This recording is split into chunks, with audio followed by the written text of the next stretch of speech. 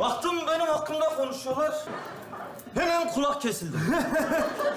Bak kardeş bir şeyi de bir doğru düzgün dinle ya. Kulağını dört aç beni dinle.